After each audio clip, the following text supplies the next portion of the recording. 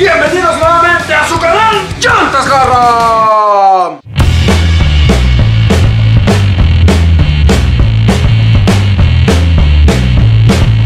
Amigos míos, más de dos semanas sin verlos, la verdad es que los he extrañado. Déjenme empezar el video mandándoles un fuerte abrazo con la potencia de un Hellcat.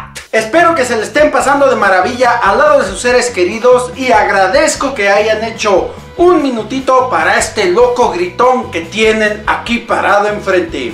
Sin mayor preámbulo, vamos a empezar con la noticia que les traigo el día de hoy. Durante estas dos semanas de ausencia tuve la oportunidad de platicar con una persona que está involucrada dentro del ramo automotriz. Esta persona a quien regularmente yo me encargo de hacerle el mantenimiento a todos sus automóviles, nos va a estar proveyendo de autos para que hagamos retroreseñas en este canal. Esa es una gran noticia porque vamos a poder traer más retroreseñas de las que tanto les han gustado a ustedes. Recordarán que ya hemos tenido otras retroreseñas como la del Jeep Wrangler.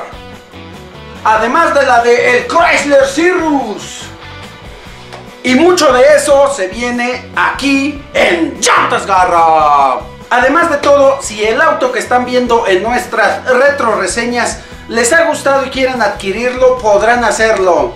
Eso sería fantástico porque de esta forma me brindarían más autos, montones de autos, cientos de autos, para traerlos a este poderoso V8 Gran Canal. E incluso obtener un beneficio propio que nos permita estar más cerca de nuestro anhelado Econodrag.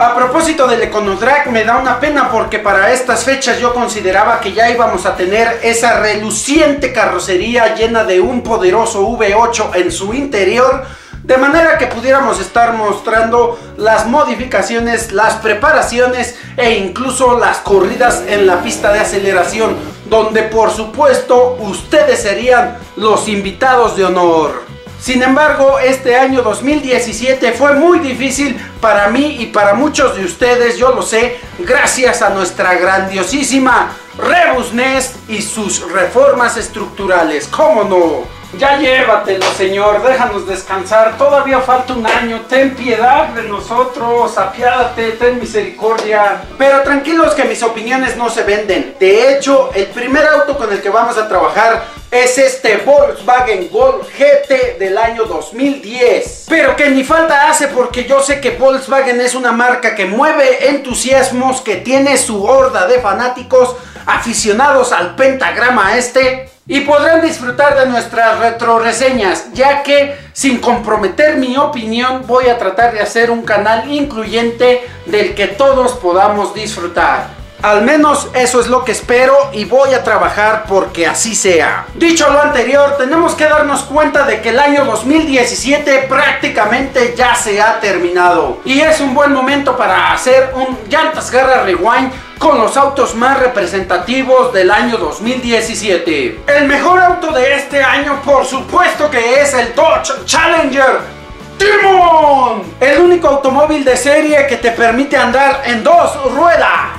Si quieres torturar a una persona, dile que se ha ganado un automóvil y después ponlo a escoger entre el Challenger Demon y el Hellcat White Body. Esa es una decisión que simplemente no se puede tomar. Lo más seguro es que enloquezca y el tipo termine dándose un tiro, pues no podría vivir con semejante presión. Al menos yo no podría. Challenger Demon, Hellcat White Body, los mejores automóviles del 2017. Pero si hablamos del mejor, también tenemos que hablar del peor. Suzuki Ignis. Entiendo que este es un auto citadino que no fue hecho para ser maravilloso en ningún aspecto. Y vaya que lo es, al menos para mí, su aspecto es, digamos, difícilmente digerible. Y su forma, que es más vertical que horizontal, me recuerda a otro gran auto de la marca, el Suzuki Samurai.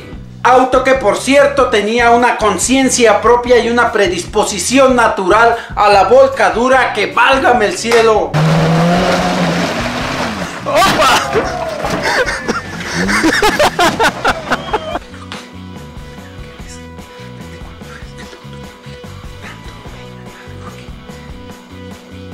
5, 4, 3, 2. Cuando notas que un automóvil le pone tanto empeño a una sola cosa, te das cuenta de la motivación que tuvieron sus creadores. Y no digo que el Ignis tenga problemas de estabilidad, de hecho no lo he manejado, pero sí que sí que no es un auto muy bonito que digamos. La verdad es que no he tenido el gusto de conducirlo, así que solamente puedo decir lo que me parece.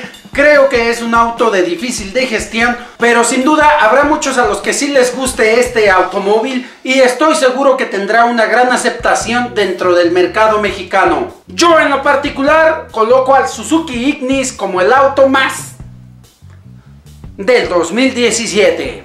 ¿Les interesaría saber cuál fue el mejor automóvil que yo trabajé durante este año? Mercedes-Benz CLA y Pontiac Solsticio Coupé GXP. Digamos que no fue el año con más autos exóticos en llantas garra, pero como disfruté los que llegaron, sobre todo el Pontiac Solsticio Coupé GXP Auto que por cierto tuve la oportunidad de manejar al menos por tres cuadrotas. Y déjenme decirles que este tipo terminó vendiendo el solsticio.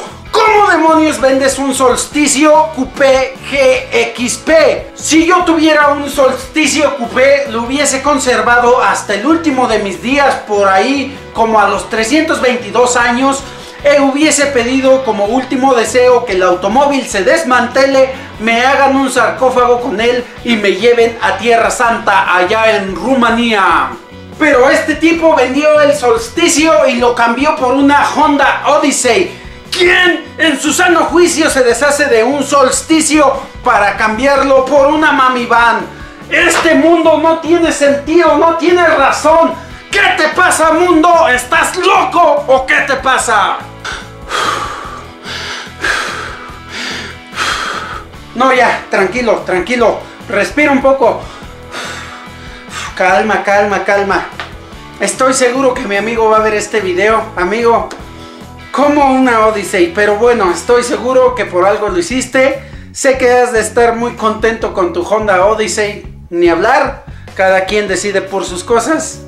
Yo no me hubiera deshecho de un solsticio, pero no quiero decirte más, no quiero que te sientas...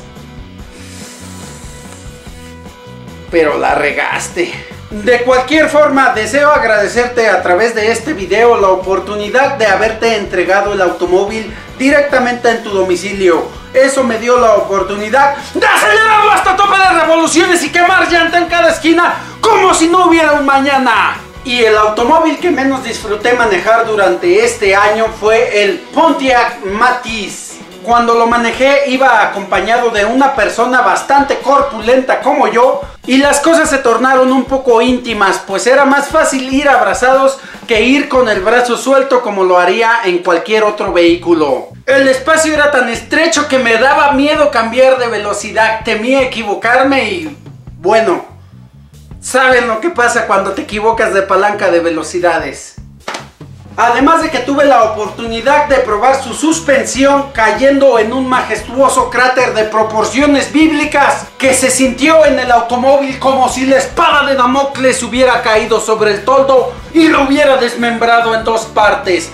Así es como se siente un bache en el Pontiac Matiz. Y así de pronto como se destruye este pequeño automóvil se termina el año 2017. Espero que estén teniendo una maravillosa Navidad y si quieres que yo también tenga una feliz Navidad, no olvides darle clic en me gusta, suscribirte al canal, activar la campanita de notificaciones y compartir en tus redes sociales. Yo soy Humberto, esto es Llantas Garra y nos vemos en los autos. Ah, creo que lo hice antes. Ok, se repite. Yo soy Humberto, esto es Llantas Garra y nos vemos en los autos.